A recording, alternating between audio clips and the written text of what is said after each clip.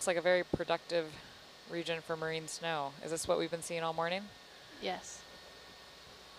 And have we noticed jellies in the mix, or is this mostly detritus and debris from the surface?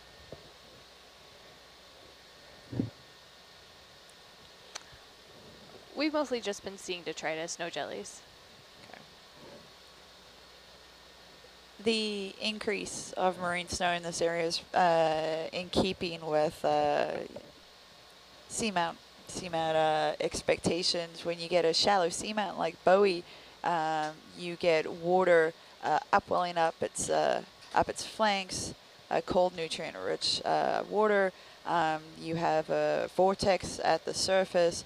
Um, you have mixing. You have nutrients. So you have the ingredients that you need for life. And so um, something that's been associated with seamounts is increased These are good. increased primary productivity. So that's uh, more algae in the water, um, more zooplankton, more um, more everything. And so the the outcome is more marine snow uh, falling down to the sea floor. Excellent.